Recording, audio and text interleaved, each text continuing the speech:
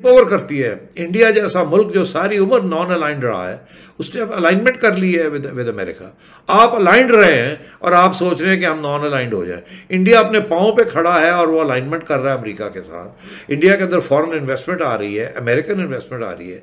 आप non aligned होके और इंडिया जो कि पाकिस्तान के इशू पे अरबों का ये स्टैंड लेने से पहले पाकिस्तान इंटरनेशनली फॉरन पॉलिसी का जो खोखलापन था और जो कंट्राडिक्शन थे उस हवाले से बहुत बुरे तरीके से एक्सपोज हो गया था। और वो इस हद तक एक्सपोज हो गया था कि अमरीकी जो है वो इवन गालियाँ देने और ताने देने तक और दूसरा मैं मैं आपकी इतला के लिए अर्ज़ करना चाहता हूँ देखें दूसरी तरफ़ आज सबसे बड़ी बात क्या हुई है। वज़ीर आज़म मोदी साहब जो है वो दलाई लामा को लेकर जारी बात है जो इंडिया की मेन स्ट्रीमिंग हुई है इसमें हम तो नहीं बर्दाश्त करते बहुत सारे जो पाकिस्तानी होंगे वो कहेंगे लो जी क्यों हो रहा है देखो जी क्या हो रहा है किस तरह हो रहा है। But that is a reality हर मुल्क जो है वो अपने इंटरेस्ट को देखता है इकोनॉमिकली चीज़ों को देखता है। जिस तरह इंडिया को वो मेन स्ट्रीम कर रहे हैं तो अल्लाह वास्ते तो नहीं कर रहे, उनको पता है India is powerful India is कर दिया कि हम जनाब कश्मीर इशू के हवाले से आपकी सपोर्ट नहीं कर सकते। और प्रैक्टिकली ऐसे इकदाम उठाए। जिसमें उनके माजी की तीस चालीस साल पॉलिसी की नफ़ी थी, जिसमें उन्होंने कश्मीर में तो दोस्तों, ये छोटा सा आपने क्लिप देखा, यहाँ पर बात हो रही है जो भारत के साथ हाल ही में हुआ था। एक नुपुर शर्मा, आपको पता है कंट्रोवर्सी क्रिएट की गई थी। ज़ुबैर, मोहम्मद ज़ुबैर, जो आल्ट न्यूज़ का फैक्ट चेकर है, उसने एक वीडियो चलाया जो कि पूरा नहीं था, जिसमें रहमानी के जवाब में नुपुर शर्मा ने कुछ बात बोली, जिसको ऐसा ऐसा दिखाया गया दुनिया को कि भारत में बीजेपी की एक स्पोक पर्सन है, स्पोक पर्सन है, वो किस तरीके से एंटी मुस्लिम है और इस तरीके के बयान दे रही हैं। उसके बाद हालाँकि उनको हटा भी दिया गया, हालाँकि वो गलत नहीं थी, आपको भी पता है। तो इस तरीके की चीज़ें करके भारत के ख़िलाफ़ सारे मुस्लिम देश हो जाएँगे। ऐसा पाकिस्तान सोच रहा था। और लेकिन अब हाल ही में आप देख रहे हो जो घटनाएँ हो रही हैं, जैसे एमबीएस ने एक डिसीज़न लिया है कि वो किसी भी तरीके की एक्टिविटी जो इंडियन मुस्लिम या पाकिस्तानी मुस्लिम या बांग्लादेशी मुस्लिम अरब स्पेशली सऊदी अरब में जाकर करेंगे, उनके खिलाफ एक्शन लिया जाएगा। तो आगे पहले ये पूरा वीडियो देखते हैं। यहाँ पर हामिद बरसानी है, यहाँ पर नजम सेठी है, यहाँ पर कमर चीमा है, यहाँ पर साजिद तरार है। फिर इसके बाद करते हैं वीडियो के लास्ट में बात। सारे जो पाकिस्तानी होंगे, वो कहेंगे, लो जी, क्यों हो रहा है? देखो जी, क्या हो रहा है किस तरह हो रहा है? But that is a reality हर मुल्क जो है वो अपने इंटरेस्ट को देखता है इकोनॉमिकली चीज़ों को देखता है। जिस तरह इंडिया को वो मेन स्ट्रीम कर रहे हैं तो अल्लाह वास्ते तो नहीं कर रहे उनको पता है India is powerful India is economically very viable जिस तरह ये आई टू यू टू के में, में भी उन्होंने दो अरब डॉलर की इंटीग्रेटेड फ़ूड पार्क की इन्वेस्टमेंट कर रहे हैं जो यू um, और अमरातीज और अमेरिकन एंड सऊदीज तो जरा काइंडली इस पे भी कर दिया कि हम जनाब कश्मीर इशू के हवाले से आपकी सपोर्ट नहीं कर सकते। और प्रैक्टिकली ऐसे इकदाम उठाए, जिसमें उनकी माजी की तीस चालीस साल पॉलिसी की नफ़ी थी, जिसमें उन्होंने कश्मीर में इन्वेस्टमेंट या कश्मीर के हवाले से ये स्टेटमेंट देना कि ये इंडिया का इंटरनल मामला है, जब सऊदी अरब या यू इस तरह की स्टेटमेंट दे दे 2019 के वाक्य के बाद तो इसको आप बिल्कुल उसी तरह इसराइल की तरह अगर आप क्रेडिट देना चाहें, फराख दिली से तो ये तो इंडिया की फॉरेन पॉलिसी की एक बहुत बड़ी कामयाबी है।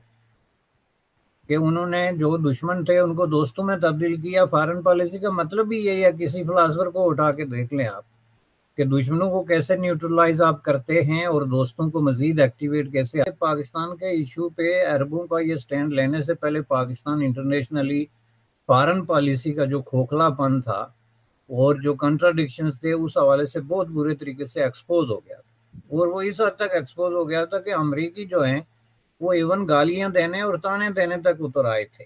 मसलन अफ़गानिस्तान के आखिरी दिनों में, या ट्रंप के दौर में, या इवन एलरी क्लिंटन के जो आखिरी डिप्लोमेटिक एफर्ट्स थी, उसमें आप देखें, गाली देने और वो स्टेटमेंट्स देने में कोई फ़र्क नहीं होता। जब आप ओपनली कहें कि जी, आप लोगों ने हमसे पैसे लेके खाए और हमें धोखा दिया और हमारी पीठ में जो है खंजर घूबा और आप जो है वो हमसे पैसे भी लेते रहे और तालिबान की सपोर्ट भी करते रहे, वही पैसे दे के उनको जनाब मसला करते रहे तो ये चीज़ें अब आई डोंट नो कि हम गाली किसको समझते हैं, लेकिन मेरे नज़दीक तो ये बहुत बड़ी गाली है अनलस के इसमें खातून इन्वॉल्व नहीं है, क्योंकि हम खातून को आगे रख के गाली देते हैं। तो उसको अगर हम निकाल दें तो ये बहुत बड़ी गाली है। तो इसका मतलब है पाकिस्तान की खारजा policy expose already trip over करती है। इंडिया जैसा मुल्क जो सारी उम्र नॉन अलाइंड रहा है उसने अब अलाइनमेंट कर ली है विद विद अमेरिका आप अलाइंड रहे हैं और आप सोच रहे हैं कि हम नॉन अलाइंड हो जाएँ। इंडिया अपने पाँव पे खड़ा है और वो अलाइनमेंट कर रहा है अमेरिका के साथ। इंडिया के अंदर फॉरेन इन्वेस्टमेंट आ रही है अमेरिकन इन्वेस्टमेंट आ रही है। आप नॉन अलाइंड होके जाएँगे कहाँ? आपके साथ तो ऑलरेडी आपके चाइना के साथ जो इन्वेस्टमेंट आई है वो ऑलरेडी रुक गई है बड़े प्रॉब्लम्स हैं वहाँ। रूस तो खैर छोड़ ही दें आप। आ, ये सारा ड्रामा है ये रूस वाला। आ, रूस के भी बड़े और भी बड़े इंटरेस्ट हैं। और आपके आपसे ना रूस ने कुछ लेना है ना कुछ देना है। आप अगर उनसे कोई ख़रीदना चाहें तो पैसे दें तो ले लें। वो आँख में आँख डाल के बात भी करते हैं इन्वेस्टमेंट भी करते हैं लेते भी हैं देते भी हैं। तो इसलिए इन्होंने उसको एक्सप्लॉइट किया कि जी इंडिया जो है वो तो कर रहा है। और आप डरते हैं अमरीका से आप क्यों नहीं करते this is the state of mind of our prime minister तो चले कोई नहीं उस पर मैं एक, एक जो मैं मैं जिस पे हमेशा अपने आप को एक चीज़ सामने रख के कहता हूँ इन सर्कमस्टांसिस में जावेद चौधरी का आर्टिकल था उसने कहा था नाइनटीन वन में भी दुनिया की मत मारी जा चुकी थी। ये वही कौम है आप बिल्कुल ना भूलें जिन्होंने फातिमा जना को कहा था कि she is an Indian agent ये वही कौम है जिन्होंने मुजीबुर रहमान को जलील किया था। ये वही कौम है जिन्होंने नारे लगाए थे कि उधर तुम इधर हम। ये वही कौम है जो कहते हैं कि अगर मैं नहीं तो पाकिस्तान के तीन टुकड़े। तो ठीक है। If this is what your destination is आप अमेरिका अभी तक, मैं बताना चाहूँगा, अभी तक regardless what you do Khan साहब ने अगले दिन डीडब्ल्यू पे ये भी कहा कि हमारा future belong to China Russia fine I agree with you लेकिन थोड़ी सी रिसर्च कर लें खान साहब, अभी तक दुनिया में वाइज सुपर पावर अमेरिका ये अचीवमेंट्स हैं ये कोई, आप उनको अंडरमाइन इसलिए नहीं कर सकते कि इंडिया और पाकिस्तान की दुश्मनी है। तो आपकी दुश्मनी में दुनिया भी अंधी होके तो अंधों की तरह घूमती रहेगी कि ठीक है जी, इनकी दुश्मनी है तो हम भी इसी तरह करेंगे। इसने आखिर में होना था। इंडिया अपने साइज़ के अतबार से, रकबे और आबादी के अतबार से, अपने पोटेंशियल के अतबार से, अपनी इकोनॉमी के अतबार से एक बहुत बड़ा मुल्क है। और दुनिया के छः सात, पाँच छः पहले मुल्कों में अब शुमार होना शुरू हो गया है। तो उस हवाले से उसको एक स्पेस मिल रही है जो कि कोई बहुत ज़्यादा अनजस्टिफाइबल या अनफेयर नहीं है कि दुनिया ने आपसे कोई, आपके खिलाफ कोई कंस्पिरेसी कर दी या साजिश करके तो इंडिया को प्रमोट कर दिया। बल्कि वो इंडिया का हिस्सा बाकदर जोसा दुरुस्त लफ्ज ये है।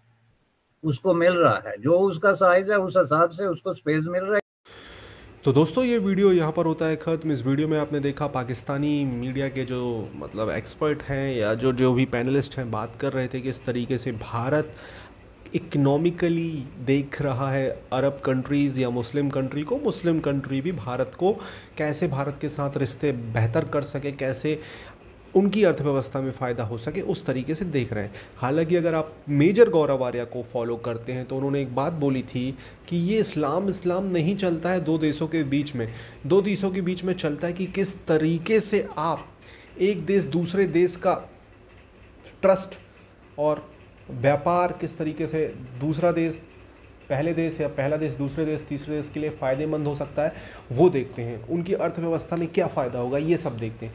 लेकिन पाकिस्तान के दिमाग में ये है कि अरब कंट्रीज़ मुस्लिम कंट्री हैं तो जो भी होगा, सब पाकिस्तान के लिए होगा। ऐसा नहीं होता है। ऑब्वियसली ऐसा नहीं होता है। कितनी सारी क्रिश्चियन कंट्री अभी जो युद्ध चल रहे हैं क्रिश्चियन कंट्रीज़ के बीच चल रहे हैं यूक्रेन रशिया तो ये तो भाई आपको भी पता है कि ये लॉजिकली करेक्ट चीज़ नहीं है। पाकिस्तान अगर ऐसा सोचता है तो पाकिस्तान के ईरान के साथ क्यों ताल्लुक सही नहीं है? पाकिस्तान के साथ अफ़गानिस्तान के ताल्लुक क्यों सही नहीं? अफ़गानिस्तान के साथ, जो अफ़गानिस्तान की सारी कंट्रियाँ, जो भी आप पता है अफ़गानिस्तान के साथ कौन कौन सी कंट्री लगती है? यहाँ पे ईरान, फिर उसके साथ भारत का हिस्सा लगता है पीओके का। पाकिस्तान और ऊपर जो सेंट्रल एशिया की कंट्री लगती है, उनके साथ क्यों रिश्ते सही नहीं है? ये लॉजिकली करेक्ट है ही नहीं कि दो देश दो देशों के धर्म एक से हों तो उन देशों के बीच सब कुछ नॉर्मल रहेगा। ये बिल्कुल गलत है। सब अपने अपने बारे में सोचते हैं। तो यहाँ पर हामिद वसानी ने क्लियर बोल दिया कि भाई अगर ऐसा ही सीन रहा तो कश्मीर पर पाकिस्तान का साथ देने वाला कोई मुस्लिम देश रहेगा नहीं। जिस तरीके से भारत इकोनॉमिकली ग्रो कर रहा है, जिस तरीके से भारत आगे बढ़ रहा है, भारत की ही बात बोलेंगे सारे देश। तो दोस्तों, आपको ये वीडियो देख के क्या लगता है? प्लीज़ कमेंट में अपनी राय दें चैनल को सब्सक्राइब करें वीडियो को शेयर करें।